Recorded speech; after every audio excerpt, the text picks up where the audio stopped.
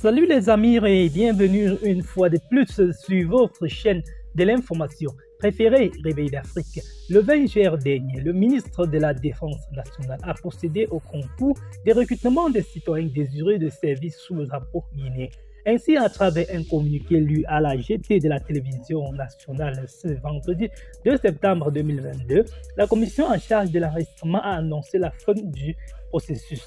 À cet effet, le chef d'état-major des armées, le colonel Sadibar Koulibaly, informe les candidats qu'une mission s'y rendra dans les universités, centres de formation professionnelle et les écoles avec les autorités des dix établissements afin, dit-il, de vérifier l'authenticité des diplômes, cela conformément au calendrier ci-dessous. 1. L'université Ganal Abdel Nasser de Conakry du mardi 6 au mercredi 7 septembre 2022. 2. École nationale des arts et métiers du jeudi 8 au vendredi 9 septembre 2022. 3. Centre de formation professionnelle de Donkar du lundi 12 au mardi 13 septembre 2022. 4 centres de formation professionnelle de Matoto du mercredi 14 au jeudi 15 septembre 2022.